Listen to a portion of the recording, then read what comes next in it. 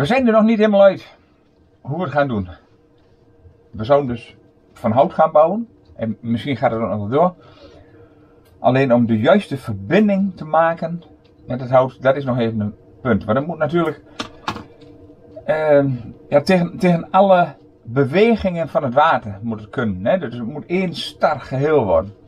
En dan heb ik meerdere mensen gevraagd. Ik krijg van Peter Kittelslegers krijg ik um, Tex 7 lijm als advies. En dat heb ik even bekeken. Dat, dat is echt super goede lijm. Maar dat moet natuurlijk wel en hè? dus dat, dat zou ik meer kunnen verlijmen. En dan nog de houtverbinding. Maar het is wel uh, een goede lijn, Peter. Dat, heb ik gezien. Jongen, jongen. Krijg ik van Hans met Kemper nog een, um, een groep Arcon to Arabella. Daar moest ik even gaan kijken. Nou, daar heb ik meerdere video's van gezien. Zijn ook uh, houtverbindingen, maar dat is heel, heel wat anders. Dat is gewoon een, een schip wat ze maken. Dus dat is het, het, geheel is dan stevig. Dus dan zou ik eigenlijk een, een houten schip moeten maken, eenmaal. Daar gaat heel veel hout in. En dan de drijvers daar inbouwen of zo. De, om, om stevig te krijgen. Dus ik kan daar eigenlijk niet zo heel veel mee. De, de, het is een hele andere verbinding. Maar toch nog bedankt door Hans voor de tip. Wat leuke video's. Misschien ga ik nog wel meer van hun kijken. Berend Bartels, die komt met uh, hout uit Polen, of uit Rusland eigenlijk. Um, dat is ook een idee. De prijs is volgens mij heel iets lager dan van ASOB. Dus uh, dat zouden we ook nog kunnen doen. Oh, nog bedankt wel Bernd. En dan uh, zegt iemand, als ik jou was, zou ik uh, Koos, Timmerman Koos vragen. Nou, heel stom. Toen ik ging zoeken op uh, sterke houtverbinding. Toen kwam ik ook gelijk al video van hem tegen. Dus toen had ik al uh, een, wat video's van hem bekeken. Maar dat kwam er nog niet helemaal goed uit voor wat ik daarmee moet doen, zeg maar, of wil doen. Um, toen heb ik hem gevraagd. En toen zegt hij tegen mij: Hoe is je bouwkundige opleiding? Ja, in hout. Nul eigenlijk, hè, wat je op de LTS kreeg. Ik heb wel uh, bouwfysica gedaan. Dat is, ja, dat is eigenlijk gewoon een hele simpele cursus.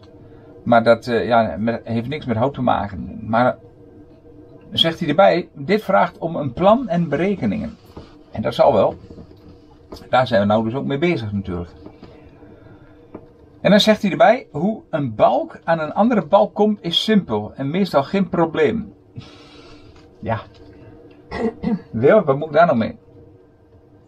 Is simpel en meestal. Ik, ik weet het ook wel, ik kan wel een balk aan een balk vastschroeven. Dat hebben we vaker gedaan natuurlijk, voor schuurtjes of zo, of dat soort dingen. He, en in een huis, ik heb ook een keer een, een, heel dakkapel van niks. Had ik alleen maar een raamkozijn en heb ik een heel dakkapel gemaakt. Dus ik, ik red me wel met dat soort dingen. Dakkapel zit nog steeds op dat huis trouwens. Is er niet afgewaaid. Maar dit is een heel ander verhaal. En ik denk niet dat Koos dat helemaal goed uh, heeft begrepen. Maar goed. Uh, Herman Kant zegt een constructeur in de armen nemen. Scheelt veel geld en armoede. Dat is misschien ook al zo. Alleen ik vind dit veel mooier. Gewoon een video maken en dat jullie met ideeën komen. Dat vind ik veel leuker. Dat maakt het een beetje, ja, een beetje avontuurlijker om een boot te bouwen. als, als wij de ideeën neerleggen bij iemand en ze gaan een hele tekening maken en berekeningen en een hele lijst met wat we moeten halen, en zoals bouwtekening. Net als een architect dat doet voor een huis, dan, dan kun je ook halverwege niks gaan veranderen. En dat wil ik wel. Ik wil wel, als, als we bezig zijn, zeggen van, hé, hey, oh nee, dat kunnen we toch zo doen of zo doen. Ja, dat vind ik het, het mooie ervan. Maar goed, um, Rob die zegt twee RVS hoekprofielen aan weerszijden van het wasbalken. Ja, daar, daar zat ik ook al aan te denken. Maar dan krijg je dus toch weer de combinatie met ijzer en hout. En dan vraag ik me af of ik niet gewoon dat ijzer kan gaan gebruiken wat we al hebben. Kom je daar weer? ja, jongen, is, uh, het is nog niet zo makkelijk om, om, om, om een goede beslissing te nemen te mensen. Henk, Henk Moes die zegt als ik op internet rondkijk, helemaal zie ik veel tuinhuisjes op het water in binnen- en uh, buitenland. Uh, ja, die zie ik ook heel veel. Ik weet alleen niet hoe dat nou zit met, ehm, eh, zeg maar, op de lange duur.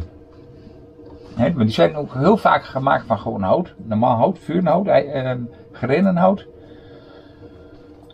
Dus ehm ja, ik, ik, ik, ehm, ik denk dat, dat als, je, als je daarnaar kijkt, dat het stevig genoeg is voor. Er zijn meestal van die, van die, van die verhuurobjecten. En dat is dan in een bepaald gebied, zoals in de Biesbos bijvoorbeeld heb je dat ook. En dan, en dan, huren, eh, dan verhuren ze dat voor dat gebied. En dat is meestal redelijk rustig water.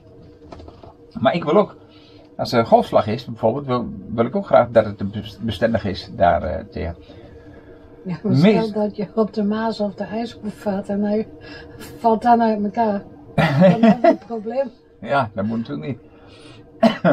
dus, uh, ik denk ook, en dat is ook met bijna alles wat mensen gaan verhuren, behalve woningen dan. Maar ook met schepen en zo. En uh, daar is het vaak, daar verhuren ze dat voor een tijdje. Dat is ook met auto's, hè, de lease van de auto's, dat is vaak ook maar drie jaar of zo. En dan nemen mensen weer een nieuwe auto. Dus al die dingen die verhuurd worden zijn gebaseerd op korte termijn. En als het ook voor korte termijn is, ja, dan kan ik net zo goed gewoon het ijzer gebruiken wat we nou hebben. En dan houdt sowieso wel 5 tot 10 jaar vol, denk ik. En, maar, als je nou voor iets meer geld iets hebt wat misschien 20, 30 jaar meer gaat, dan is dat natuurlijk mooi meegenomen. Vandaar dus. Eh, maar toch eh, bedankt Henk voor het uh, meedenken hoor. En als laatste, oh nee, dit is weer geen, geen uh, reactie, dit is alleen maar eventjes een, een duim van Sjaak. Ik geef je een duim, daar heb ik geen ervaring in, maar ik wil graag over je planning, zegt hij. Nou, leuk om te horen. Dat uh, mensen dit toch leuk vinden. En dat zie je maar weer. Ik weet nog dat, dat er wat mensen die geabonneerd waren, dat die weg zijn gegaan van ons kanaal. Omdat ze het niet mooi vonden dat wij nou, nou video's maakten over de houseboat. Nou, we hebben nou, ja, vorige week al, maar dan zat hij er weer onder, dan weer erboven, dan weer eronder. En nu hadden we 5005 abonnees. Dus de 5000 lijn hebben we gehaald. Yes! het is gelukt. Ondanks dat we nou hebben gezegd dat we dus over x aantal jaren in de boot gaan wonen. Er zijn namelijk een hele hoop mensen die en uh, de, video's van kijk, camperen uh, leuk vinden, van camperplaatsen, hè, de video's die we maken. Gewoon dingen over ons leven, de weekvlogs. Maar ook de houseboat-video's wel leuk vinden. En er zijn er een aantal, die hebben helemaal niks met. Uh, kregen we in de mail kregen we daar uh, reactie op. Die hebben helemaal niks met campers of wat dan ook. Maar die vonden dat uh, de video van de houseboat mooi. Dus die kijken alleen maar de video's van de houseboat. en niet van de camperplaats of zo, waar hebben ze niks meer. Dus ja, als je, als je houseboat video's maakt en mensen gaan zoeken op een houseboat, ja, dan komen ze ook bij ons natuurlijk. He, maar dat, uh, dat zie je dan ook. Probeer maar eens op Google houseboat en dan zie je gelijk ook video's van ons erbij. Tenminste, ik zie dat op uh, mijn computer. Misschien dat het iets anders werkt bij een computer van een ander, maar ik vind het wel leuk. En nou, bedankt voor het reageren van iedereen. Um, we zijn er nog niet uit dus. Maar we hebben dus wel de 5000 abonnees gehaald. En zien volgende week wel even verder wat de vorderingen zijn.